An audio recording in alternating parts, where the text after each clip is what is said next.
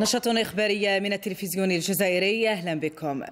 بداية وعملا بتعليمات رئيس الجمهورية سيد عبد المجيد تبون القائد الأعلى للقوات المسلحة وزير الدفاع الوطني وعقب المشاورات ومع اللجنة العلمية لمتابعة تطور جائحة فيروس كورونا كوفيد 19 والسلطة الصحية. قرر الوزير الأول وزير المالية أيمن بن عبد الرحمن اتخاذ تدابير وقائية يتعين تنفيذها بعنوان جهاز تسيير الأزمة الصحية المرتبطة بجائحة فيروس كورونا كوفيد 19 على مستوى قطاع التربية الوطنية. وإذ تندرج دوما في إطار الحفاظ على صحة المواطنين وحمايتهم من أي خطر لانتشار فيروس كورونا كوفيد 19 وبالنظر إلى الوضع الوبائي الذي لا يزال يتميز بالانتشار السريع للفيروس فقد تقرر تمديد إجراء تعليق الدراسة على مستوى التربية الوطنية لفترة إضافية مدتها سبعة أيام اعتبارا من يوم الأحد الثلاثين جانفي الجاري إلى غاية يوم السبت الخامس من فيفري الداخل.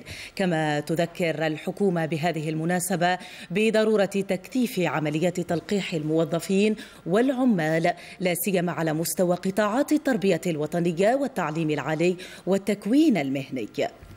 وبهدف بلوغ المناعة الجماعية والحد من انتشار فيروس كورونا حملة تلقيح واسعة لفائدة الأسرة التربوية بولاية تبس مع العمل الدؤوب على توفير كل الظروف لإنجاحها. العينة من بلدية الشريعة في هذا الروبورتاج لتهامي زكريا.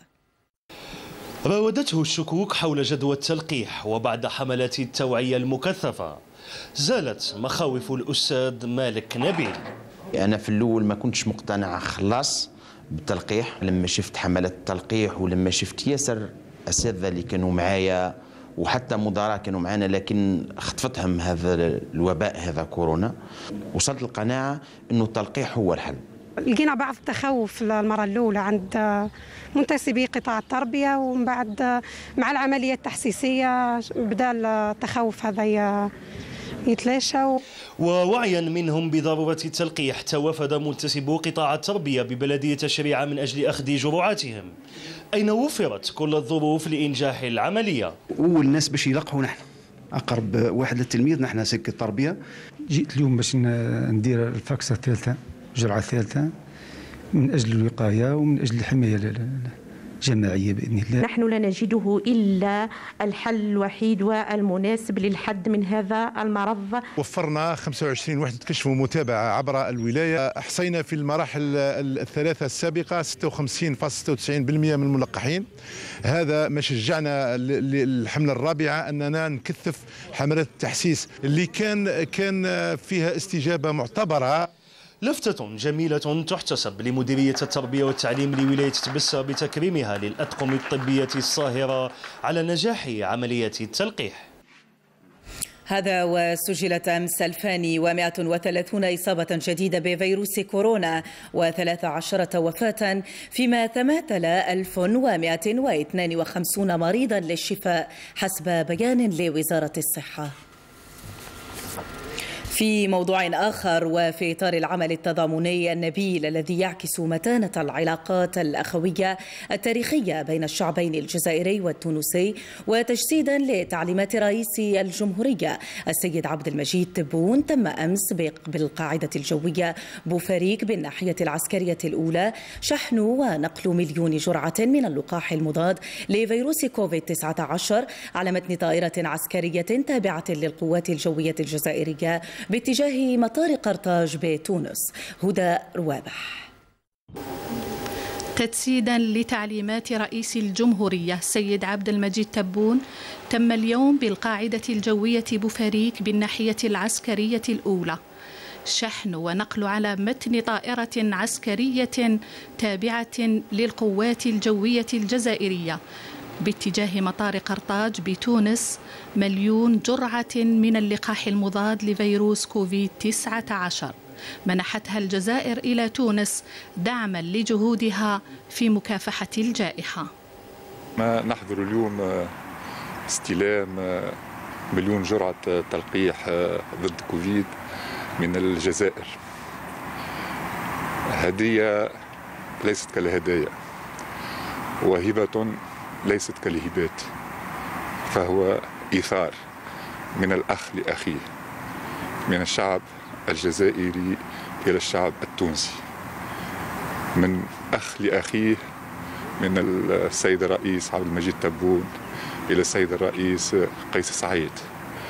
اللي السيد الرئيس قيس سعيد اللي بلغني سعادة السفير آه، تشكراته وتبليغ سلامنا الحار.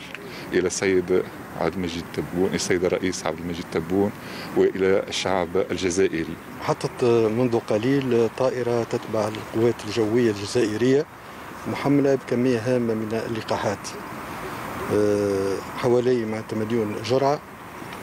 وهذه ما هيش المرة الأولى معناتها اللي وصلنا بنوع اللقاحات هذه. نذكروا في الأشهر الفارطة لما تونس مرت ب معناتها بال حالة معناتها حرجة نجم نقولوا تاع الجائحة هذه. كيفاش الجزائر معناتها تقاسموا معنا الأكسجين تقاسموا معنا اللقاحات بعثوا لنا معناتها العديد من الطائرات والمستلزمات الطبية. تضامن يترجم عمق الروابط الأخوية الصادقة وعلاقات التآزر والإيثار القائمة بين البلدين. هذا الدعم هو في الحقيقة سلسلة آه متواصلة من التضامن بين البلدين اليوم وإن شاء الله نواصل في هذه المسيرة المبنية على الأخوة المبنية على الصداقة المبنية على الصدق المبنية على الإرادة المشتركة دائما للتحول بالعلاقات الثنائية إلى مرحلة تتحسن فيها دائما تطلبا تلبية تطلبات شعبينا. هذه العملية تؤكد مرة أخرى حرص الجزائر على تعزيز العلاقات المتينة بين البلدين وتزيد في ترسيخ قيم التعاون والتضامن القائمة بين الشعبين الشقيقين.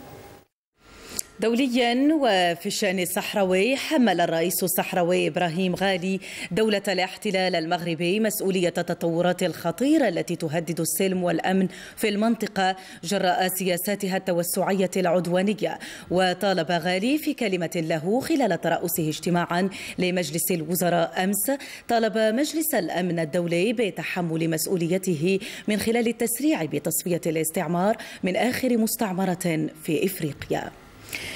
شرق أوسطيا أصيب عدد من الفلسطينيين بالرصاص المعدني والعشرات بالاختناق بالغاز المسيل للدموع إثر اعتداء لقوات الاحتلال الإسرائيلي عليهم في الضفة الغربية المحتلة. هذا وأقدمت شرطة الاحتلال على اعتقال شابين فلسطينيين عند مدخل بلدة العسوية شمال شرقي القدس وعمدت إلى إغلاق مدخل البلدة كما أصيب فلسطيني برصاص قوات الاحتلال الاحتلال الإسرائيلي خلال مواجهات اندلعت في قرية دير جرير في رام الله. في الشأن الأوكراني طالبت الولايات المتحدة اليوم مجلس الأمن الدولي بعقد اجتماع علني الاثنين المقبل لمناقشة ما وصفته بالتهديد الروسي ضد أوكرانيا حيث شرعت موسكو في حشد قواتها على الحدود الأوكرانية وفي روسيا البيضاء. وتتهم واشنطن روسيا بالضلوع في أعمال أخرى مزعزعة للاستقرار تستهدف أوكرانيا وتشكل تهديدا واضحا للسلم والأمن الدولي ومثل ميثاق الأمم المتحدة. من جهته أكد سيرجي لافروف تبني بلاده للخيار الدبلوماسي عقب الدعوة الأمريكية للعودة إلى طاولة المفاوضات وهو الخيار الروسي منذ عقود حسب رئيس الدبلوماسية الروسية. وللتذكير لم تحقق المحادثات انفراجا للأزمة فيما تحاول أطراف النزاع إبقاء باب الحوار مفتوحا. في جديد كورونا بالعالم أعطت الوكالة الأوروبية للأدوية الضوء الأخضر لاستخدام عقار فايزر المضاد لفيروس كورونا في أول علاج من نوعه للمرض يؤخذ عن طريق الفم للمريض. الوكالة شددت على أن هذا العلاج يعطي للبالغين ممن هم في خطر أو في خطر الإصابة بشكل متزايد بعوارض الشد للمرض. هذا فيما رفعت بريطانيا تقريبا جميع القيود الهادفة لمكافحة توشي الوباء على أمل أن يعتاد سكان البلاد على التعايش مع الوباء وكأنه أنفلونزا ونختم بأحوال الطقس التي تعيشها المنطقة العربية هذه الأيام وعلى وقع منخفض جوي قادم من اليونان وتركيا باتجاه الحوض الشرقي للبحر الأبيض المتوسط التقرير لنوال هدنة. تعيش المنطقة العربية هذه الأيام على وقع منخفض جوي قادم من اليونان وتركيا باتجاه الحوض الشرقي للبحر الأبيض المتوسط. ويتزامن مع دخول الموجة قطبية تضرب بعض المناطق مثل السعودية لبنان فلسطين الأردن ومصر. اضطرابات كبيرة وتساقط كثيف للثلوج في العاصمة اليونانية أثينا تسبب في قطع الطرق العامة في المدينة حيث قررت السلطات تعليق خدمات النقل. فيما شهدت مدينة اسطنبول التركية خلال الأيام الماضية تساقطا كثيفا لثلوج تسبب في تعطل وسائل النقل. أما موجة الثلج النادرة التي اجتاحت منطقة الشرق الأوسط فمن غير المعتاد تغطي الثلوج القدس المحتلة ومعظم المدن الفلسطينية. بعد اشتداد حدة المنخفض الجوي القطبي منذ ليلة أمس. نفس الأجواء تعيشها كل من الأردن لبنان العراق مصر والسعودية. أما المخيمات المؤقتة في شمال غرب سوريا شهدت تساقط كثيف للثلوج ما أدى إلى انهيار العديد من الخيام. الأمر الذي حذرت منه الأمم المتحدة حيث أكدت أن الطقس البارد والثلوج الكثيفة تؤثر بشكل رهيب على أكثر من مليون شخص يعيشون في مخيمات النزوح في سوريا. ختام النشرة ألقاكم في نشرة الواحدة. السلام عليكم.